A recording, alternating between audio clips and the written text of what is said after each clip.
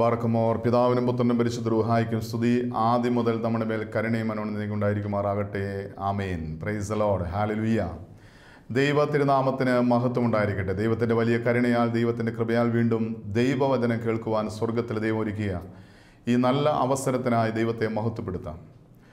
ഒരു മനുഷ്യന്റെ ജീവിതത്തിലെ ഏറ്റവും വലിയ അനുഗ്രഹമാണ് നിത്യജീവൻ. ഈ ഭൂമിയിൽ ജീവിച്ചിരിക്കുന്ന ഏതൊരു മനുഷ്യനും ഈ ഭൂമിയിൽ വെച്ച് ലഭിക്കുന്ന ഏറ്റവും വലിയ അനുഗ്രഹമാണ് നിത്യത അല്ലെങ്കിൽ സ്വർഗരാജ്യം നിത്യജീവൻ എന്ന് പറയുന്നത്.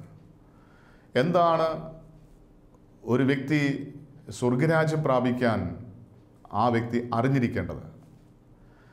സ്വർഗരാജ്യം പ്രാപിക്കാൻ ആ വ്യക്തി അറിഞ്ഞിരിക്കേണ്ടത് മരണത്തിന് ശേഷം ഒരു വ്യക്തിയുടെ ജീവിതം എങ്ങനെയാണെന്നുള്ളതാണ്. മരിക്കും എന്നെല്ലാവർക്കും അറിയാം.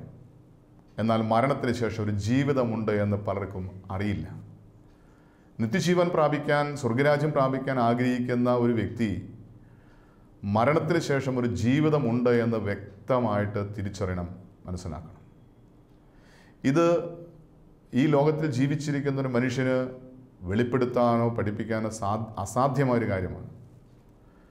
കാരണം മരണത്തിന് ശേഷം എന്താണ് സംഭവിക്കുന്നത് എന്ന് അറിയണമെങ്കിൽ മരിച്ചു കഴിഞ്ഞ ആരെങ്കിലും തിരിച്ചു വന്ന് പറയണം.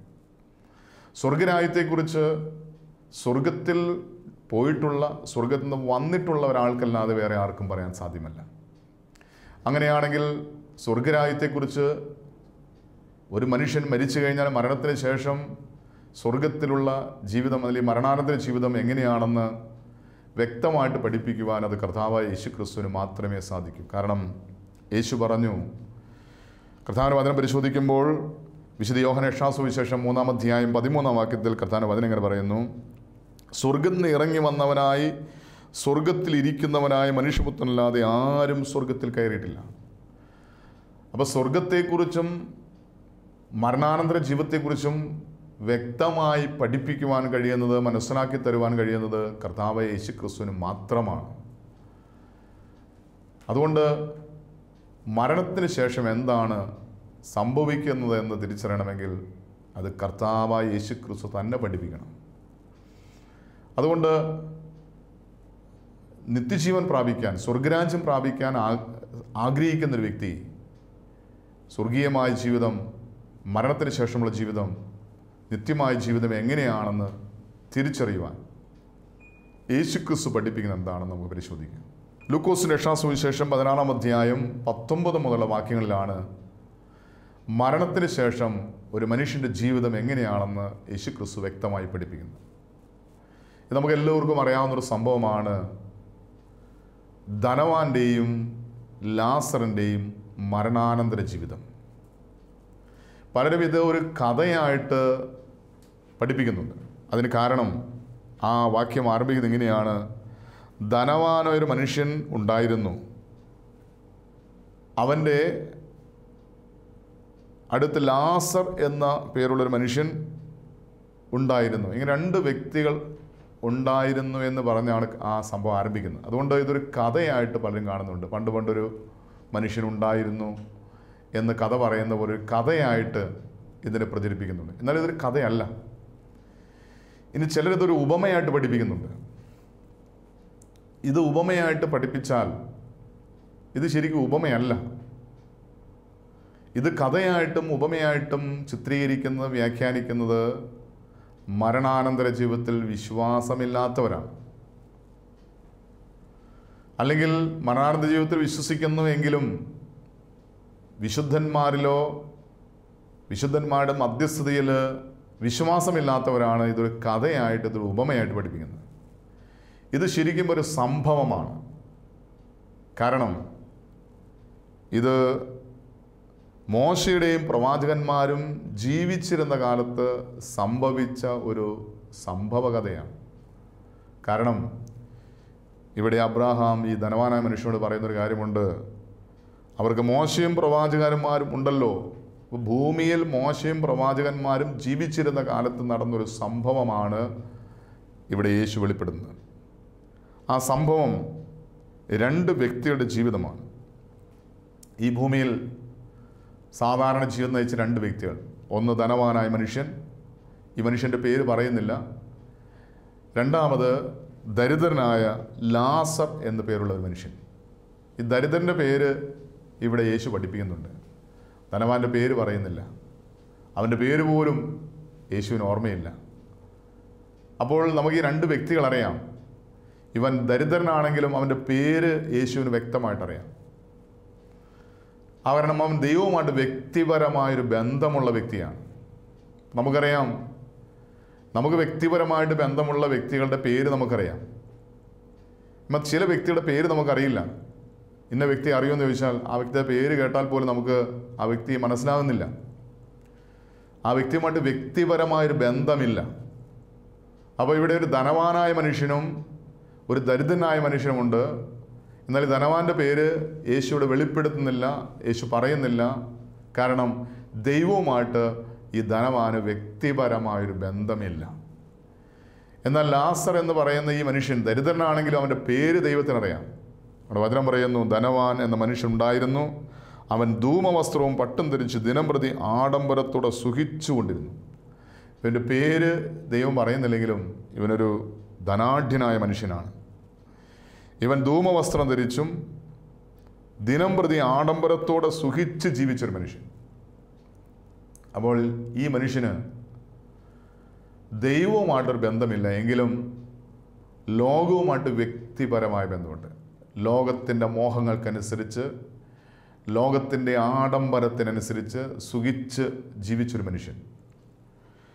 അടുത്തത് ലാസർ എന്ന പേരുള്ള ദരിദ്രനായ മനുഷ്യൻ അവൻ വ്രണ വ്രണം നിറഞ്ഞവനായി അവന്റെ പടിപ്പുരക്കിൽ കിടന്നിരുന്നു. ധനവാൻ എന്ന മനുഷ്യന്റെ പടിപ്പുരക്കിൽ കിടന്നിരുന്ന ദരിദ്രനായ മനുഷ്യൻ. ഇവിടെ ധനവാന്റെ മേശയിൽ നിന്ന് വീഴുന്നത് തിന്ന് വിശപ്പെടുക്കുവാൻ അവൻ ആഗ്രഹിച്ചു. ആഗ്രഹിച്ചു എന്ന് പറഞ്ഞാൽ ഒരുപക്ഷെ അവനത് കിട്ടണമെന്നില്ല. അവനങ്ങനെ ആഗ്രഹിച്ചിട്ടുണ്ട് ഈ ധനവാൻ വലിച്ചെറിയുന്ന ആ ആ അപ്പക്കഷ്ണമെങ്കിൽ കിട്ടിയിരുന്നെങ്കിൽ എന്ന് അവൻ ആഗ്രഹിച്ചുകൊണ്ടായിരിക്കാം അവന്റെ പടിമാത്തിൽ പടിപ്പുരയിൽ കിടന്നിരുന്നത്. നായ്ക്കൾ വന്ന് അവന്റെ വ്രണം നക്കും. അപ്പോൾ അവൻ ശരിക്കും പറഞ്ഞ ഒരു നായയെ ഓടിച്ചു കളയാൻ പോലുള്ള ആരോഗ്യമോ ശക്തിയോ അവനില്ല. ശരീരം കൊണ്ട് മനസ്സുകൊണ്ട് തളർന്നു കിടക്കുന്നൊരു മനുഷ്യൻ. വ്രണം ബാധിച്ചൊരു മനുഷ്യൻ. ദരിദ്രനായ എല്ലാം നഷ്ടപ്പെട്ടൊരു മനുഷ്യൻ. ഇവിടെ രണ്ടുപേരും മരിക്കുകയാണ്. ആ ദരിദ്രൻ മരിച്ചപ്പോൾ ദൂതന്മാർ അവനെ അബ്രാഹാമിന്റെ മടിയിലേക്ക് കൊണ്ടുപോയി. ധനവാനും മരിച്ച് അടക്കപ്പെട്ടു. പാതാളത്തിൽ യാതന അനുഭവിക്കുമ്പോൾ മേലോട്ട് നോക്കി ദൂരെ നിന്ന് അബ്രാഹാമിനെയും അവന്റെ മടിയിൽ നാസറിനെയും കണ്ടു. ഇവിടെ നമുക്ക് ഇതെല്ലാവർക്കും അറിയാവുന്നൊരു സംഭവമാണ്. രണ്ടുപേരും മരിച്ചു. നമ്മളൊരു കാര്യം തിരിച്ചറിയേണ്ട ഒരു സത്യമാണ് ഈ ലോകത്തിൽ ജീവിച്ചിരിക്കുന്ന ഏതൊരു മനുഷ്യനും മരിക്കും. മരി മരണം മനുഷ്യന് നിശ്ചയമാണ്. ഒരിക്കൽ മരണവും പിന്നെ ന്യായവിധിയും ദൈവന് ദൈവം മനുഷ്യൻ നിശ്ചയിച്ചിരിക്കുന്നു എന്ന് ദൈവത്തിന്റെ വചനം വ്യക്തമായി വെളിപ്പെടുത്തി. ഒരു മനുഷ്യന്റെ ജീവിതം മരണത്തിനപ്പുറം ഒരു ജീവിതമുണ്ട്.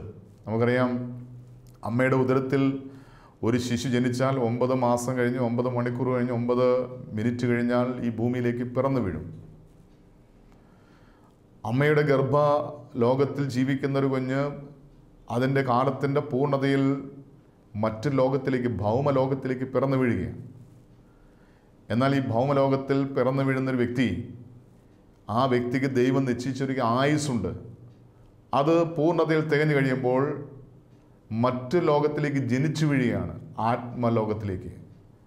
ഗർഭലോകത്തു നിന്ന് ഭൗമലോകത്തിലേക്ക് ജനിച്ചു വീഴുന്നൊരു കുഞ്ഞ് ഈ ഭൗമലോകത്തിൽ വളർന്ന് ജീവിച്ച് ദൈവം നൽകിയിരിക്കുന്ന ആയുസ് അതിന്റെ പൂർണ തികഞ്ഞു കഴിയുമ്പോൾ ആത്മലോകത്തിലേക്ക് ജനിച്ചു വീഴാണ് ഈ ആത്മലോകത്തിലേക്ക് നിത്യ ജീവിതത്തിലേക്ക് ജനിച്ചു വീഴുന്ന ജന്മത്തിനാണ് മരണമെന്ന് പറയുന്നത്. അതൊന്നാമത്തെ മരണമാണ് എന്ന് ദൈവത്തിന്റെ വചനം വ്യക്തമായി വെളിപ്പെടുത്തുകയാണ്. അങ്ങനെയാണെങ്കിൽ ഈ ലോകത്തിൽ ജീവിച്ചിരിക്കുന്ന ധനവാനാണെങ്കിലും ദരിദ്രനാണെങ്കിലും വലിയവനാണെങ്കിലും ചെറിയനാണെങ്കിലും ബുദ്ധിയുള്ളവനാണെങ്കിലും കഴിവില്ലാത്തവനാണെങ്കിലും ഈ ലോകത്തിൽ ഏത് മനുഷ്യനും മരിക്കും. ഇവിടെ ഈ ധനവാന് നല്ലൊരു അടക്കം കിട്ടി. അവൻ മരിച്ച് അടക്കപ്പെട്ടു എന്ന് പറയുന്നു ദരിദ്രൻ മരിച്ചപ്പോൾ ദൂതന്മാർ അവനെ അബ്രാഹാമിന്റെ മടിയിലേക്ക് കൊണ്ടുപോയി. അവനെ എന്ന് പറഞ്ഞാൽ അവന്റെ ആത്മാവിനെ ശരീരം ഈ ഭൂമിയിൽ അടിഞ്ഞു കിടക്കുക ആ ദരിദ്രൻ അവന് സമ്പത്തില്ല അവന് കഴിവില്ല അവന് ആരോഗ്യമില്ല രോഗക്കിടക്കില കിടക്കുന്നത് സഹായിക്കാൻ ആരുമില്ല. നായ്ക്കൾ വന്ന് വ്രണം നക്കുമ്പോൾ അതിനെ ഓടിച്ചു കളയാൻ പോലുള്ള ആരോഗ്യം പോലുമില്ല. അത്രമാത്രം ശാരീരികമായി മാനസികമായി തകർന്നു കിടക്കുന്ന ആരും സഹായിക്കാനില്ലാത്ത അവന് സഹായമായിട്ട് ദൂതന്മാരുണ്ടായിരുന്നു. കാരണം ദൈവവുമായിട്ട് ഒരു വ്യക്തിപരമായ ബന്ധമുണ്ടായിരുന്നു. ദൈവത്തിന്റെ ദൂതന്മാരുടെ സംരക്ഷണം അവനുണ്ടായിരുന്നു. അവൻ മരിച്ചു കഴിഞ്ഞപ്പോൾ ദൂതന്മാർ അവനെ അബ്രാഹാമിന്റെ മടിയിലേക്ക് കൊണ്ടുപോയി. ഇവിടെ ധനവാനും മരിച്ചടക്കപ്പെട്ടു. അവൻ പാതാളത്തിൽ യാതന അനുഭവിക്കുന്ന സ്ഥലത്തേക്കാണ് പോയത്. മരിക്കുമ്പോൾ മരണം എല്ലാവർക്കും തുല്യമാണ്. എന്നാൽ മരണം കഴിഞ്ഞാൽ പോകുന്ന വഴി വ്യത്യസ്തമാണ്. ഈ ഭൂമിയിൽ പാപത്തിൽ ജീവിച്ച് പാപത്തിൽ മരിച്ചാൽ അവൻ പാതാളത്തിലേക്കും അവൻ ദൈവവുമായിട്ട് വ്യക്തിപരമായ വ്യക്തിപരമായ ബന്ധത്തിൽ ജീവിച്ച് മരിച്ചാൽ അവൻ ദൂതന്മാർ മുഖാന്തരം അബ്രാഹാമാടിയിലേക്ക് അല്ലെങ്കിൽ ദൈവസന്നിധിയിലേക്കുമാണ് പോകുന്നത്. ഇവിടെ രണ്ടുപേരും രണ്ട് വഴിക്കാണ് തിരിയുന്നത് അപ്പം നമ്മൾ തിരിച്ചറിയേണ്ടത് മരണത്തിന് ശേഷം ഒരു ജീവിതമുണ്ട്. ഒന്നിൽ നിത്യമായ സ്വർഗം അല്ലെങ്കിൽ നിത്യമായ നരകം. ഇവിടെ ലാസർ മരിച്ചു. അവൻ ദൂതന്മാർ അവനെ അബ്രാഹൻ വടിയിലേക്ക് ദൈവസന്നിധിയിലേക്ക് കൊണ്ടുപോയി. എന്നാൽ ഈ ധനവാനായ മനുഷ്യൻ മരിച്ചിട്ട് പാതാളത്തിൽ യാതന അനുഭവിക്കുന്ന സ്ഥലത്തേക്കാണ് പോയത്. പാതാളത്തിൽ യാതനയുണ്ട്. പാതാളത്തിൽ വേദനയുണ്ട്. പാതാളത്തിൽ കഷ്ടതയുണ്ട്.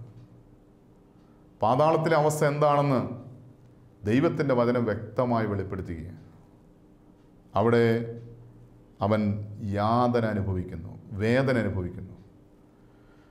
വീണ്ടും കർത്താവിന് വചനം പരിശോധിക്കുമ്പോൾ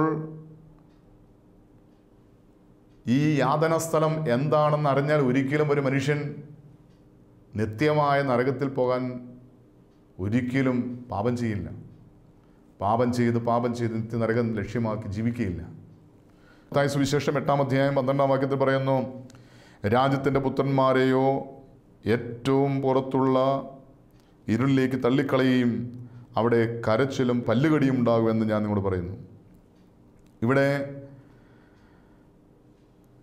പാപത്തിൽ ജീവിച്ച് പാപത്തിൽ മരിച്ചാൽ ഇരുളിലേക്ക് തള്ളിക്കളയും അവിടെ കരച്ചിലും പല്ലുകടിയും ഉണ്ടാകുമെന്ന് കർത്താൻ വചനം പഠിപ്പിക്കുകയാണ്. വീണ്ടും മർക്കോസ് രക്ഷാ സുവിശേഷം ഒമ്പതാം അധ്യായം നാൽപ്പത്തെട്ട് നാൽപ്പത്തി ഒമ്പത് വാക്കുകൾ പറയുന്നു. പാപത്തിൽ ജീവിച്ച് പാപത്തിൽ മരിച്ചാൽ അവൻ എവിടെയാണ് എത്തുന്നത്? കർത്താൻ വചനം പറയുകയാണ് അവിടെ അവരുടെ പുഴു ചാകുന്നില്ല തീ കെടുന്നില്ല. എല്ലാവരും തീ കൊണ്ട് ഉപ്പിടും അതായത് നരകമെന്ന് പറയുന്നത് തീ നരകമാണ്. വീണ്ടും കർത്താൻ വചനം പരിശോധിക്കുമ്പോൾ രണ്ട് പത്രോസ് രണ്ടാം അധ്യായം നാലാം വാക്യത്തിൽ പറയുന്നു പാപം ചെയ്ത ദൂതന്മാരെ ദൈവം ആദരിക്കാതെ അന്ധതമസിന്റെ ചെങ്ങലക്കിട്ട് നരകത്തിലാക്കി. അപ്പോൾ അന്ധതമസിലാണ് അത് ചെങ്ങലക്കിട്ടിരിക്കുകയാണ് അവിടെ തീയാണെന്ന് കർത്താനുവാദനം പറയുന്നു. വെളിപ്പാടിന്റെ പുസ്തകം ഇരുപതാം അധ്യായം പതിനാല് പതിനഞ്ച് വാക്കിൽ പറയുന്നു മരണത്തെയും പാതാളത്തെയും തീപ്പൊയിൽ തള്ളിയിട്ടു ഈ തീപ്പൊയ്കയാണ് രണ്ടാമത്തെ മരണം. ജീവപുസ്തകത്തിൽ പേരെഴുതി കാണാത്ത ഏവനെയും തീപ്പൊയിൽ തള്ളിയിടും. അതായത് നിത്യജീവന് അവകാശിയായി ഈ ഭൂമിയിൽ ഒരു വിശുദ്ധ ജീവൻ നയിക്കാതെ പാപത്തിൽ ജീവിച്ച് പാപത്തിൽ മരിച്ചാൽ ആ വ്യക്തിക്ക് നിത്യമായ മരണം. അതിനെ പറയുന്നു മരണത്തെയും പാതാളത്തെയും തീപ്പൊയ്കയിൽ തള്ളിയിട്ടു. ഈ തീപ്പൊയ്കയാണ് രണ്ടാമത്തെ മരണം. പാതാളം അല്ലെങ്കിൽ നിത്യനരകം നരകാഗ്നി തീപ്പൊയ്ക കത്തുന്ന തടാകം.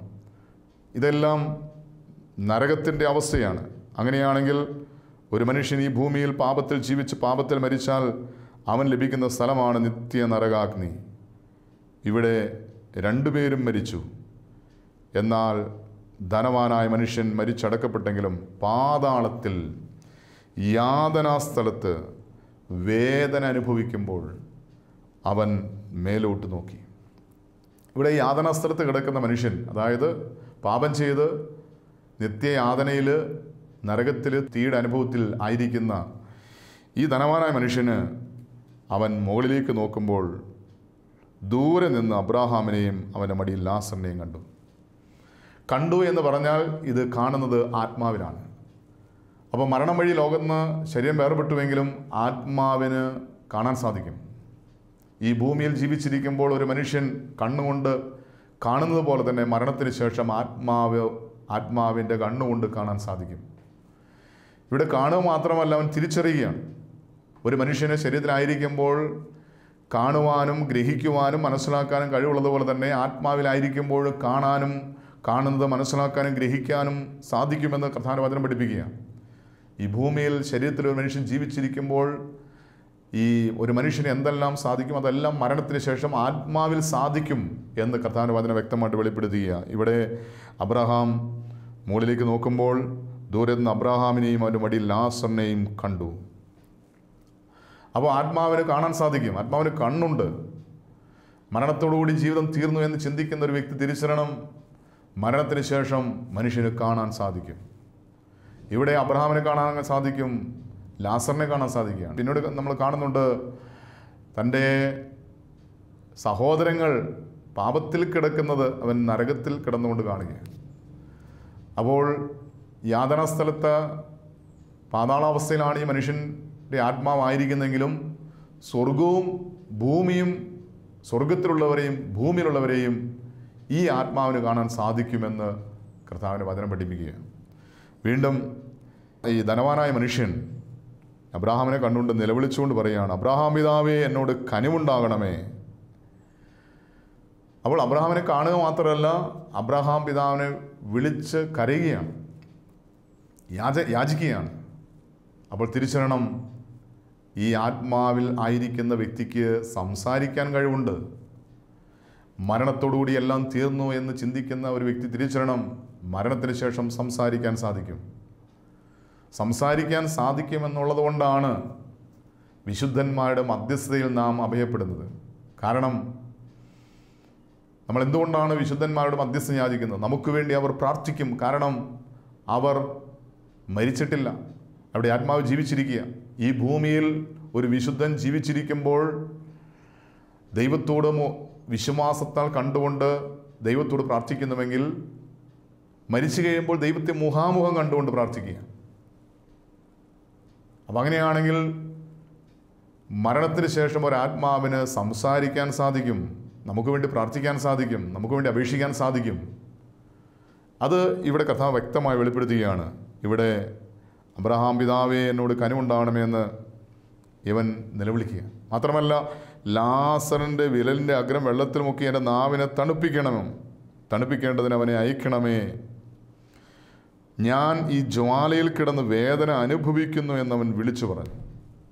അപ്പോൾ വേദന അനുഭവിക്കുക അപ്പോൾ അവൻ അനുഭവിക്കാനുള്ള കഴിവുണ്ട്.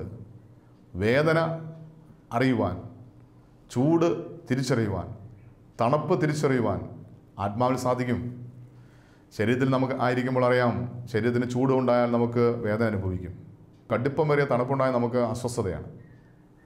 ഇത് ശരീരത്തിലായിരിക്കുമ്പോൾ മനുഷ്യന് അസ്വസ്ഥത ഉണ്ടെങ്കിൽ വേദന ഉണ്ടെങ്കിൽ ഇതുപോലെ തന്നെ ആത്മാവിലായിരിക്കുമ്പോൾ ആത്മാവിന് ചൂട് സഹിക്കാൻ കഴിയില്ല തണുപ്പ് സഹിക്കാൻ കഴിയില്ല. ഇവിടെ ഈ ജ്വാലയിൽ ഈ തീ ജ്വാലയിൽ കിടന്ന് വേദന ഞാൻ അനുഭവിക്കുകയാണെന്ന് പറഞ്ഞ് അബ്രാഹാം പിതാവിനോട് നിലവിളിക്കുക.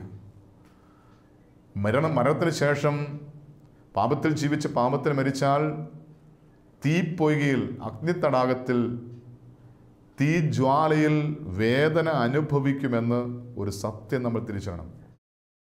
ഇന്ന് ഈ ഭൂമിയിൽ അനുഭവിക്കുന്ന നിസ്സാരമായ വേദനകൾ സഹിക്കാൻ കഴിയാതെ ചിലർ ആത്മഹത്യ ചെയ്യും.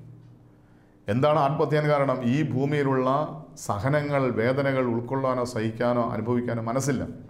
ഇതിലും ഭേദം മരിച്ചാൽ മതി ചത്താൽ മതി എന്ന് പറഞ്ഞ് ആത്മഹത്യക്ക് വേണ്ടി ശ്രമിക്കും. അതിന് അതിന് ആത്മഹത്യയിലൂടെ ഇതിനുള്ള ഒന്ന് മരണം വഴി മാറ്റപ്പെടും. അങ്ങനെ ചെയ്യുന്നൊരു വ്യക്തി ഈ ലോകത്തിലെ താൽക്കാലികമായ വേദന നിന്ന് രക്ഷപ്പെടാൻ വേണ്ടി ചെയ്യുന്നത് നിത്യ നരകാഗ്നിയിൽ നിത്യമായ വേദന അനുഭവിക്കാൻ ആ വ്യക്തി സ്വയം തീരുമാനമെടുക്കുക അപ്പോൾ ആത്മഹത്യ ചെയ്യുന്നൊരു വ്യക്തി ഈ ഭൂമിയിലെ നിസാരമായ വേദനയെ സഹിക്കാൻ കഴിയാതെ ആ വ്യക്തി ചെയ്യുന്ന പ്രവൃത്തി മുഖാന്തരം മരണത്തിന് ശേഷം നിത്യമായ വേദന നിത്യമായ വേദന. ജീവിത ആ ലോകമുള്ളിടത്തോളം കാലം ദൈവം അനുവദിക്കുന്നിടത്തോളം കാലം വേദന അനുഭവിക്കുവാൻ വിധിക്കപ്പെടുകയാണ്. അങ്ങനെയാണെങ്കിൽ ഈ ലോകത്തിൽ എന്തെങ്കിലും കഷ്ടതയുണ്ടെങ്കിൽ അത് വേദന ഉണ്ടെങ്കിൽ സഹനമുണ്ടെങ്കിൽ അതിനെ കർത്താവിന്റെ കൃപയിൽ സന്തോഷത്തോടെ നാം സ്വീകരിച്ചാൽ വേദനകളില്ലാത്ത ദുഃഖങ്ങളില്ലാത്ത കർത്താവായ യേശു ക്രിസ്തു നമുക്ക് വേണ്ടി ഒരുക്കിയിരിക്കുന്ന നിത്യമായ സന്തോഷം അബ്രഹാമിന്റെ മടി ആനന്ദത്തിന്റെ പ്രതീസ കർത്താവ് നമുക്ക് വേണ്ടി ഒരുക്കിയിട്ടുണ്ട് അതുകൊണ്ട് ഈ ഞൊടി നേരത്തേക്കുള്ള കഷ്ടത നിസാരമെന്ന് കണ്ട് ലഭിക്കാൻ പോകുന്ന നിത്യമായ തേജസ് നിത്യമായ ജീവിതം കണ്ടുകൊണ്ട് ആ നിത്യജീവൻ കണ്ടുകൊണ്ട് ആ നിത്യമായ സന്തോഷം കണ്ടുകൊണ്ട് ഈ ലോകത്തിലെ നിസാരമായ കഷ്ടത നിസാരമെന്നെണ്ണുവാൻ നമുക്ക് കഴിയണം. ഇവിടെ ഈ ധനവാനായ മനുഷ്യൻ സുഖിച്ച് ജീവിച്ച മനുഷ്യനാണ് ഇപ്പോൾ വേദന അനുഭവിച്ചുകൊണ്ടിരിക്കുകയാണ് ഈ ദരിദ്രനായ മനുഷ്യൻ അവൻ വേദന അനുഭവിച്ചുകൊണ്ട് ഈ ഭൂമിയിൽ ജീവിച്ചു. എന്നാൽ സ്വർഗത്തിൽ ആനന്ദത്തിന്റെ പർദീസയിൽ അബ്രഹാമിന്റെ മടിയിൽ അവൻ സന്തോഷം അനുഭവിക്കുക ഇവിടെ മരണത്തിന് ശേഷം ഒരു മനുഷ്യന് കാണാനും കേൾക്കാനും അനുഭവിക്കുവാനും സാധിക്കുമെന്ന് കർത്താവിന്റെ വചനം പഠിപ്പിക്കുക ഇവിടെ അബ്രഹാം തിരിച്ച് ഈ ധനവാന മനുഷ്യനോട് സംസാരിക്കുക അബ്രഹാം നീതിയുള്ള വിശുദ്ധനായ മനുഷ്യനാണ്. അബ്രഹാമിന്റെ സ്വരം ഇവിടെ ധനവാൻ കേൾക്കുന്നു ധനവാന്റെ സ്വരം അബ്രഹാം കേൾക്കുന്നു. അങ്ങനെയാണെങ്കിൽ മരണത്തിന് ശേഷം മനുഷ്യന് കേൾക്കാനും സംസാരിക്കാനും കഴിയുമെന്ന് കർത്താവിന് വചനം വ്യക്തമായിട്ട് വെളിപ്പെടുത്തുകയാണ്. അബ്രഹാം പറയുകയാണ് മകനെ നിന്റെ ആയുസ്സിൽ നീ നന്മയും ലാസർ അവണ്ണ തിന്മയും പ്രാപിച്ചു എന്ന് ഓർക്കുക. അപ്പോൾ അവൻ ഇവിടെ ആശ്വസിക്കുന്നു നീയോ വേദന അനുഭവിക്കുന്നു. അത്രയുമല്ല ഞങ്ങൾക്കും നിങ്ങൾക്കും നടുവെ വലിയൊരു പിളർപ്പുണ്ടാകിയിരിക്കുന്നു. ഇവിടെ നിന്ന് നിങ്ങളുടെ അടുക്കൽ കടന്നു വരുവാൻ ഇച്ഛിക്കുന്നവർക്ക് കഴിയില്ല. അവിടെ നിന്ന് ഞങ്ങളുടെ അടുക്കൽ വരുവാനും പാടില്ല എന്ന് പറഞ്ഞു. അതായത് ഈ രണ്ട് സ്ഥലങ്ങളും തമ്മിൽ കാണാനും സംസാരിക്കാനും എല്ലാം സാധിക്കുമെങ്കിലും ഇവിടുന്ന് അങ്ങോട്ടോ അവിടെ നിന്ന് ഇങ്ങോട്ടോ ആർക്കും വരാൻ സാധിക്കും അതിന് മുന്നിലൊരു പിളർപ്പുണ്ട് എന്ന് കർത്താവിനെ വചനം തിന്മയിലൂടെ മനുഷ്യന് നിത്യമായ നരകവും നന്മയിലൂടെ മനുഷ്യൻ നിത്യമായ സ്വർഗവുമാണ് ദൈവം അനുവദിച്ചിരിക്കുന്നത്. ഈ ലോകത്തിൽ നന്മ ചെയ്ത് വിശുദ്ധ ജീവൻ നയിച്ച് വിശ്വാസ ജീവൻ നയിച്ച് നീതിമാന്മാർക്ക് അവർക്ക് നിത്യമായ സ്വർഗരാജ്യം പ്രാപിക്കാൻ ദൈവം ഈ ഭൂമിയിൽ അവസരം നൽകിയിട്ടുണ്ട്. മരണത്തിന് ശേഷം മാനസാന്തരപ്പെടാം. മരണത്തിന് ശേഷം സ്വർഗരാജ്യം പ്രാപിക്കാമെന്ന് ആരെങ്കിലും തിരിച്ചറിയുന്നുണ്ടെങ്കിൽ അങ്ങനെ ചിന്തിക്കുന്നുണ്ടെങ്കിൽ അത് സാധ്യമല്ല എന്ന് ഇവിടെ കഥാനുവാദനം വ്യക്തമായി വെളിപ്പെടുത്തുകയാണ്. അപ്പോൾ ഇത് കേട്ടുകൊണ്ട് ഈ ധനവാന മനുഷ്യൻ പറയുകയാണ് എനിക്ക് അഞ്ച് സഹോദരന്മാരുണ്ട്. അവരും ഈ യാതന സ്ഥലത്ത് വരാതിരിപ്പാൻ അവൻ അവരോട് സാക്ഷ്യം പറയട്ടെ എന്ന് പറഞ്ഞു. അബ്രഹാം അവനോട് അവർക്ക് മോശയും പ്രവാചകന്മാരുമുണ്ടല്ലോ അവരുടെ വാക്ക് അവർ കേൾക്കട്ടെ എന്ന് പറഞ്ഞു. അതായത് ഈ ധനവാന്റെ സഹോദരന്മാർ അഞ്ച് പേര് പാപത്തിൽ ജീവിക്കുക അവർ യാതന സ്ഥലത്ത് വരാതിരിക്കാൻ ഈ നിത്യ നരകാത്തിന് വെന്തിരിയാതിരിക്കാൻ ആ ഈ ലാസറിനെ അവരുടെ അടുക്കിലേക്ക് അയക്കണമെന്ന് അബ്രാം പിതാവിനോട് പറയുകയാണ്. അപ്പോൾ ഇതാ മോശയും പ്രവാചകന്മാരും അവർക്കുണ്ടല്ലോ. ഈ ജീവിച്ചിരിക്കുന്നവരെ നിത്യജീവനിലേക്ക് നയിക്കുവാൻ വേണ്ടിയാണ് ദൈവം ചില നീതിമാന്മാരെ ചില പ്രവാചകന്മാരെ ചില ദൈവദാസന്മാരെ സുവിശേഷകരെ ദൈവം ഈ ഭൂമിയിൽ നിർത്തിയിരിക്കുന്നത്. അവർ പറഞ്ഞിട്ട് കേൾക്കാതിരുന്നാൽ അതിനും പറയാണ് അതിന് അവൻ അല്ല അബ്രഹാം പിതാവ് മരിച്ചവരിൽ നിന്ന് ഒരുത്തിന് എഴുന്നേറ്റ് എന്ന് അവരുടെ അടുക്കൽ ചെന്നുവെങ്കിൽ അവർ മാനസാന്തരപ്പെടുമെന്ന് പറഞ്ഞു. അപ്പോൾ അബ്രഹാം പിതാവ് പറയാണ് അവർ മോശയുടെയും പ്രവാചന്മാരുടെയും വാക്ക് കേൾക്കാഞ്ഞാൽ മരിച്ചവരിൽ നിന്ന് ഒരുത്തൻ എഴുന്നേറ്റ് ചെന്നാലും വിശ്വസിക്കുകയില്ല എന്ന് പറഞ്ഞു. അതായത് ഈ ഭൂമിയിൽ അയച്ചിരിക്കുന്ന പ്രവാചകന്മാർ സുവിശേഷകർ പറഞ്ഞിട്ട് വിശ്വസിക്കാത്തൊരു വ്യക്തി മരിച്ചൊരാൾ ചെന്ന് പറഞ്ഞാലും വിശ്വസിക്കുകയില്ല എന്ന് ഇവിടെ ദൈവത്തിന്റെ വചനം സാക്ഷ്യപ്പെടുത്തി ദൈവത്തിന്റെ ഏറ്റവും വലിയ കൃപയാണ് ഈ നിത്യജീവൻ സ്വർഗരാജ്യം ഇത് പ്രാപിക്കാൻ നാം ഒരുങ്ങുമ്പോൾ മരണത്തിന് ശേഷം ഒരു ജീവിതമുണ്ട് നിത്യമായ സ്വർഗം നിത്യമായ നരകം. മരണം ന്യായവിധി സ്വർഗം നരകം ഈ നാല് കാര്യങ്ങൾ എപ്പോഴും ഓർത്തിരിക്കണം. മരണത്തിന് ശേഷം എനിക്കൊരു ന്യായവിധിയുണ്ട് ആ ന്യായവിധിയിൽ ഞാൻ ഈ ഭൂമിയിൽ യേശുവിനോട് ജീവിച്ച് വിശുദ്ധിയിൽ ജീവിച്ച് വിശ്വാസത്തിൽ ജീവിച്ച് മരണം വഴി വേർപെട്ടു പോയാൽ നിത്യമായ സ്വർഗരാജ്യം അല്ല പാപത്തിൽ ജീവിച്ച് പാപത്തിൽ മരിച്ചാൽ നിത്യമായ നരകം. അതുകൊണ്ട് ഈ ഭൂമിയിലായിരിക്കുമ്പോൾ നമുക്ക് നിത്യജീവൻ അവകാശമാക്കാം. അതിനായി നമുക്ക് യേശുവിനെ കർത്താന്തയുമായി നമുക്ക് സ്വീകരിക്കാം. അതിനെ പറയുന്നു അവനെ കൂടാതെ നമുക്ക് ആർക്കും സ്വർഗരാജ്യം പ്രാപിക്കാൻ സാധ്യമല്ല. യേശു പറഞ്ഞു ഞാൻ തന്നെ വഴിയും സത്യവും ജീവനുമാകുന്നു. ഞാൻ മുഖാന്തരമല്ലാതെ ആർക്കും നിത്യജീവൻ പ്രവേശിക്കാൻ സാധ്യമല്ല. അവൻ സത്യദൈവവും നിത്യജീവനുമാണ്. അതുകൊണ്ട് യേശുവിനെ നമ്മുടെ കർത്താവും ദൈവമായി നമ്മുടെ ഹൃദയത്തിൽ സ്വീകരിക്കുവാൻ സകല പാപത്തെയും പാപ സാഹചര്യങ്ങളെ ഉപേക്ഷിച്ച് വിശുദ്ധിയോടെ വിശ്വാസത്തോടെ ദൈവം തനി നമുക്കായി ഒരുക്കിയിരിക്കുന്ന അനിത്യമായ സ്വർഗം ലക്ഷ്യമാക്കി ഒരു വിശുദ്ധ ജീവൻ നയിക്കാൻ തീരുമാനമെടുക്കാം. പ്രാർത്ഥിക്കാം. കണ്ണടയ്ക്കാം ബാർക്കമോർ ഞങ്ങൾ അത്യധികമായി സ്നേഹിക്കും ഞങ്ങളുടെ സ്വർഗീയ പിതാവ് നല്ല ദൈവമേ. മരണത്തിന് ശേഷം ഒരു ജീവിതമുണ്ടെന്നും ഈ ഭൂമിയിലായിരിക്കുമ്പോൾ തന്നെ ആ ജീവിതം തിരഞ്ഞെടുക്കേണ്ടതാണെന്നും ഇന്ന് ഞങ്ങളുടെ വ്യക്തിപരമായി നീ സംസാരിച്ചല്ലോ. കർത്താവായ യേശു ക്രിസ്തു മുഖാന്തരം നിത്യജീവൻ പ്രാപിക്കുവാൻ പാപത്തെ വെറുത്തുപേക്ഷിച്ച് പാപത്തിന്റെ അനന്തരഫലങ്ങളെ വെറുത്തുപേക്ഷിച്ച് നീതിമാന്മാർക്കായി വിശുദ്ധന്മാർക്കായി ഒരുക്കിയിരിക്കുന്ന നിത്യമായി സ്വർഗജയം പ്രാപിക്കാൻ. മരണത്തിന് ശേഷം ആത്മാവിലൊരു ജീവിതമുണ്ട് എന്നൊരു സത്യം തിരിച്ചറിഞ്ഞ് കർത്താവ് ഒരു വിശുദ്ധ ജീവൻ നയിക്കാൻ ഞങ്ങൾക്ക് കൃപ നൽകണമെന്ന് പ്രാർത്ഥിക്കും പരിശുദ്ധി അമ്മയെ ദൈവമാതാവേ ഞങ്ങൾക്ക് വേണ്ടി പ്രാർത്ഥിക്കണമേ. സകല ശുദ്ധിമാന്മാരെ ശുദ്ധിമതിൽ ഞങ്ങൾക്ക് വേണ്ടി പ്രാർത്ഥിക്കണമേ. എല്ലാ മഹത്തോടെ മാത്രം എടുക്കണം. യേശുവിന്റെ നാമത്തിൽ തന്നെ. ആമേൻ.